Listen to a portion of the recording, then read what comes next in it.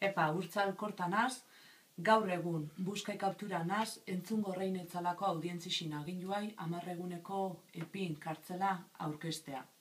Atzo gabaz, ertzainak etxea junzin, neu atxilotzeaz muaz, adibidi hori estatuk lengu eskemetan segi itxen da dela, nik ikusitxe konponbide garaxe dala, estrategisa horreaz amatxu berdela, desetxen dut. Bai xakun, amabitxer disetan, alamedan, erritxarrok eta lagunakin antxegon ganazela, eta gertzea, danon hartin lortuko.